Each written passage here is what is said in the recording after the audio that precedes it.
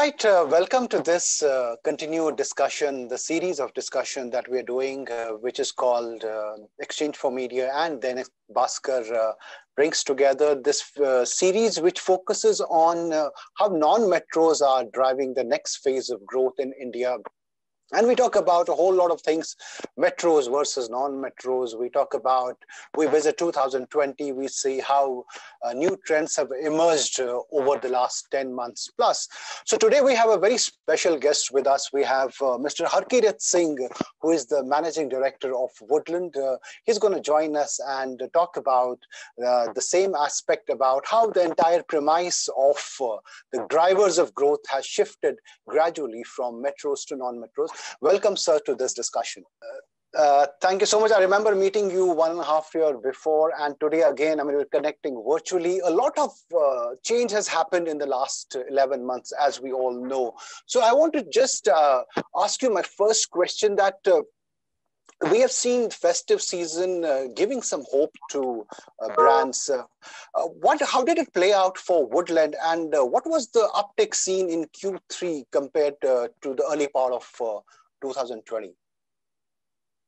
See, definitely everybody knows during the lockdown period, and you know the all the retail was shut, everything was shut, even the online business was shut so it was not only in India, pan, uh, it was worldwide. So of course, you know, uh, during those months, the business was totally uh, dead because we are into non-essential products. As um, uh, brand is mainly, you know, outdoor brand and lifestyle brand where we are doing shoes and garments and everything. So of course, you know, the business all started was like in late September, you know, when things started rolling out, stores started uh, opening. So slowly and gradually we started opening stores because, you know, there was hardly any footfall in the markets. So uh, it was not before the season starts when you when you're saying the festive season with Diwali coming in that we saw some movement in the stores uh, people actually they were scared you know scared to come out and uh, you know so we could see some some people trickling in, in the stores. Of course we were ready with our merchandise you know because we have a summer line and a winter line. So uh, right. uh, summer season was almost wash uh, wash out you know because uh, there was hardly any sales. So we mm. we had planned our winters of course in time. And of course we had not uh, you know like we normally calculate our numbers based on last year's sales. This year we could not take that because we we were very sure that we will not be able to uh, you know do the numbers which we did last year which was an extremely good year last year. So the winters was very good for us. And we being into you know functional clothing you know jackets boots and all which are which go very well for outdoors and especially for winters. So uh, uh, our winter line is normally very extensive. So this time we we were very cautious about ordering uh, the new range and how much we have to order. But of course, you know, luckily the uh, with the coming of the season and with the festive uh, coming in, and uh, mm-hmm. winter was pretty good. You know, especially in North India, even now there's a good spell of winter. So uh, the right. business was very brisk, and uh, uh, yes, definitely it was better than what what was expected because we we actually uh, had not uh, expected you know, this uh, financial year to actually do much of business. You know because there was a lot of uncertainty. people didn't know really you know whether this virus is going to come back or you know how soon the vaccination is going to come in so there were a lot of questions, and you know nobody was able to answer to that. So everybody, right. everybody was specu- speculating. So uh, so um, you know uh, we definitely did better business than we, we what we expected. Yeah. Right, right. And sort of uh, Woodland being a brand that is truly pan India and it has metros, non metros all over, uh, very well known across. Uh, tell me, when you see this, uh, when we talk about non metros, uh, in the last 10 months. Uh, in your view, how, how have they contributed in the recovery phase? See, we've always been, uh, you know, we, we, we've been an urban brand. You know, we normally sell a lot in the metros and definitely a lot of our people are the people who are traveling and trekkers. So travel was almost closed, you know. So as you know, all uh, you know, travel whether it's air travel or uh, you know whatever, till now it's not really there. So it, it also resonates with non-metros. I mean, of course, it's an urban-based brand, but I'm sure you know there are a lot of people. I've seen stores out in non-metros which sell woodland. We yes, stores pan India, and we have stores in practically all the cities, major cities.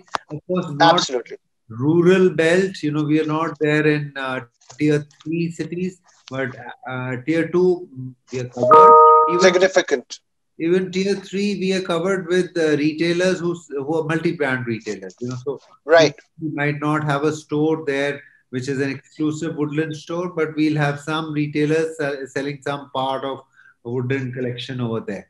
So uh, of course the sales have contributed from the non-metros also and smaller towns also. And uh, of course more so because uh, the pandemic was not really majorly hit in these smaller towns, you know, because right. Of course, you know when you talk about Delhi, Mumbai, Bangalore, you know these cities are overpopulated, and you know like so people were really very worried about going out. But in the smaller right. cities, people did come out, and uh, of course because there are not too many of markets where they can go, so uh, the the growth was in fact faster recovery in those smaller towns than the metros. Right. See, the consumer sentiment and behavior has also changed in the last, uh, uh, you know, 10 plus months. In your view, um, are these uh, shifting behaviors uh, becoming permanent part of the consumer journey? Do you see them, or do you just see them as uh, a response to this crisis and it will come back to where it was before? This is like a, uh, for all your consumers who are in metros and non-metros. Do you see, see this shift as permanent shift?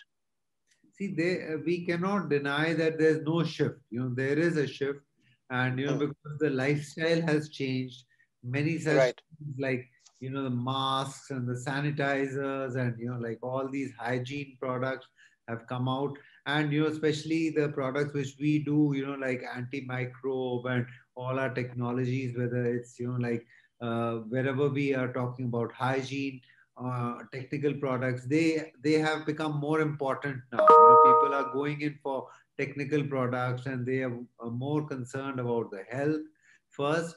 And uh, but of course you know like if you see every brand has its own core you know so woodland has its more mainly our core is on adventure outdoor lifestyle. So of course our products are based on that. So you know people know us because of that. So when it comes to rugged boots and you know uh, waterproof jackets so we are the the only stores where people uh, think of coming first. So right. you know that will remain the same but of course there will be some added lines you know because during the uh, this uh, crisis period you know people were definitely spending lesser you know and they were going mm. for cheaper products and they were working from home so they didn't re- really want to have you know like uh, dress shoes and formal shoes you know so uh, for a while yes the change was there and is there. And uh, i think it will continue to be there for some time but uh, the main products which are being sold will also be sold you know because like during the festive period or the marriage season which is very big in india you know like formal shoes and uh, right. shoes will definitely sell. So you know like right. but the numbers of course you know like now since the parties are much smaller uh, the marriages people are limited to go to uh, just a few numbers. So people are not buying so much. So of course to come back to a normal it might take a year or something like that. But of course uh, we also have come out with new products. You know like we have a big range of masks. We have uh, uh, other technical products which we've brought in and uh, which are also selling so they have added up to the line but our basic line remains there Right. So, as you rightly mentioned, Woodland has resonance with travel and adventure largely, but in the last uh, few months, we haven't seen that happen. So, tell me if I have to ask you that uh, if you look at the six months window, uh, last six months, what kind of products have driven growth for Woodland? See, we've always been an outdoor brand. So, of course, you know, like our boots are definitely meant for going outdoors uh, on the hills or you know where you're going uh, you know trekking or something like that but of course our uh, shoes are also for the daily use so you know people who like this lifestyle they buy our shoes not only just for going outdoors but for the day-to-day life also so hmm, hmm. uh, so our uh, range still you know the uh, main sellers are uh, our our jackets which are selling very well during these winters because they are you know like down filled jackets and there are a lot of technologies in the jackets. They are uh, you know organic products which are selling very well.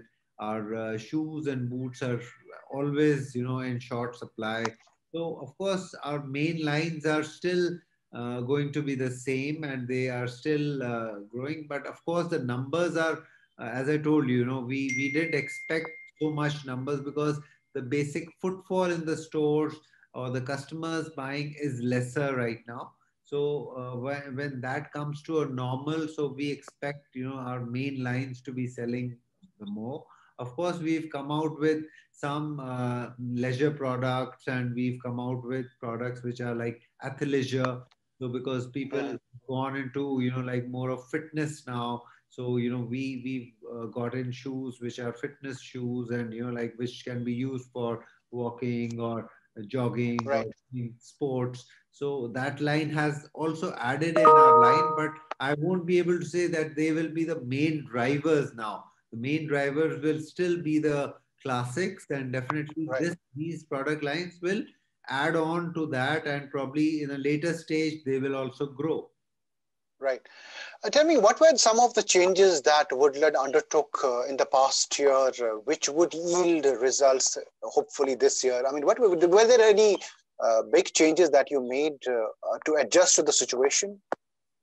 See, the, when uh, this period was there of this crisis, the pandemic, so, you know, like, first of all, the main thing was how to survive because hmm. when all your stores are closed, all the businesses closed, factories are closed. So you first of all you look for you know how to start and you know uh, what to start. You know so uh, the best thing which came out was that you know, we had uh, a lot of these stores or uh, factories which were probably you know like we were running them because you know they were there but we, we didn't really need them because we could have done without them also. So, you know, we curtailed a lot of uh, such uh, works which were not adding value to our uh, the whole organization. Right. So, right. cost cuttings were there, you know. So, I right. think that, way, that gave us, uh, you know, that trimmed the whole system and made it mm. more efficient. So we, we are now much more efficient and now I think we, we are very clear about how to go about it. So I think that was uh, across for all the companies, which you know they, yes. they, they all uh, try to Uh, cut costs and all. So that was the biggest thing which we could do. And then, of course, we also focused on our, as I told you, on our core lines. We we know you know which are our best sellers, and you know if even if I would have taken a risk during that time and planned more production, I would have only gone in for the product which I'm dead sure that I won't be, you know, left over with inventories for that, you know. So uh, we we focused on those uh, particular products and lines which we could take a risk, you know. And of course, we are, we are glad we did it, did that because things got better uh, faster, and all our stocks which we had made during the, those times and planned those times, those are now selling, and we are at least not short of stocks. Right. Rightly said, I think this has been a period of rethink and re-strategizing. Uh, tell me, Mr. Singh, how do you see the demand curve in the coming months, especially if we talk about uh, non-metros? Uh, what uh, we see is definitely, you know, things are getting better and we feel, uh, you know, like uh, the growth part is there. and we are, uh, of course, we are planning new stores also. We are, you know, always in lookout for newer stores, and especially in the uh, cities which we are not present. So of course, uh, the growth will not be at the speed of the uh, the uh, we used to do earlier, but of course, right. very cautiously.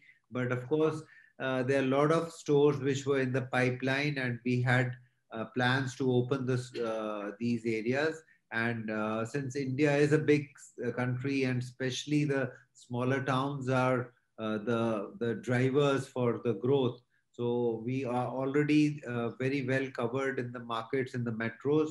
So we are looking forward where, where, which new states, especially we feel you know like in the north because as I told you we are more of a winter uh, winter products are very strong. So we are going in for opening stores in uh, some of these cities, towns in the north as well as the south, which is a very strong market for us. That was my next question. You answered it right. The great north and south. Great.